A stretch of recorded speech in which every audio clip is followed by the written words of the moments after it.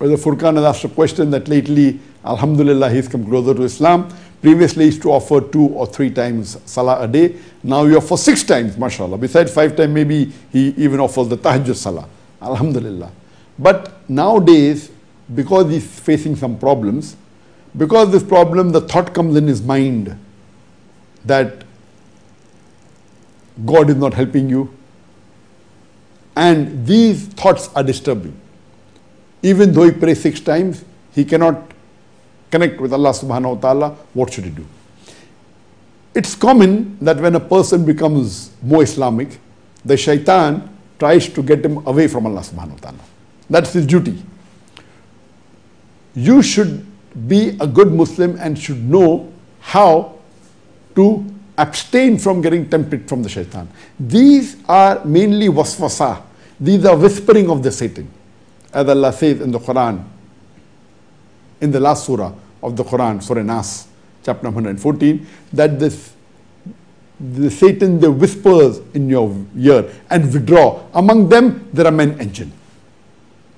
So my suggestion to you is that when these whispers come, you should know how to overcome. As Allah says in the Quran, that a true believer is one who always says Alhamdulillah. Suppose you're going lost in business and maybe you went and lost of $2,000.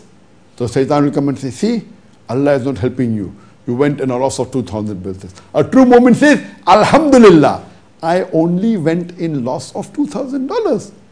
I could have lost $5,000. You say, Alhamdulillah. Thank you, Allah subhanahu wa ta'ala. I only lost $2,000.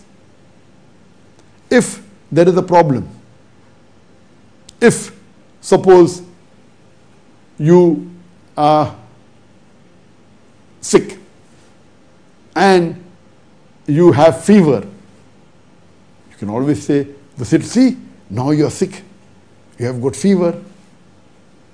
Allah is not with you. Alhamdulillah. It's Allah's help. My fever is only 100 degrees. It could have been 110 degrees or 105 degrees Fahrenheit. So here, what you should do, you should be able to overcome. These are whispers of the Satan because the Satan knows. Now this particular human being has come closer to Allah subhanahu wa ta'ala. He is praying not five times, six times salah. So my advice to you would be that especially when you're reading the tahajjud salah and when you're doing sajda, at that time, you pray to Allah subhanahu wa ta'ala. And when such thought comes, you should say, A'udhu minash rajim. You seek refuge in Allah from Satan the accursed. And that's what the Quran says in Surah Araf chapter 7, verse number 200. That when the Satan whispers, say, I seek refuge with Allah from Satan the accursed.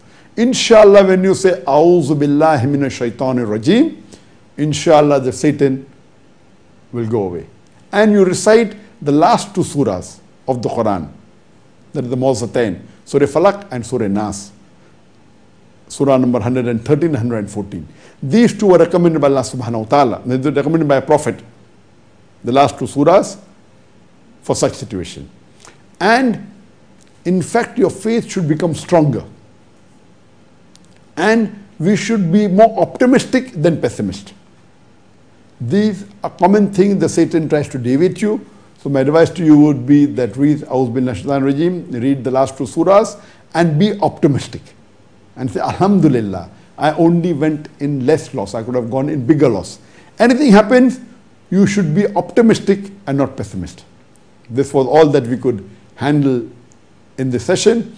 Inshallah, till we meet after two weeks. As I mentioned in my last session, that because of my other commitments, we have kept this program, Ask Dr. Zakir and his son Sheikh Fariq, every alternate Saturdays. So inshallah now, we'll meet after two weeks, after a fortnight. Inshallah, same time, 11 o'clock, Malaysia, 11 p.m.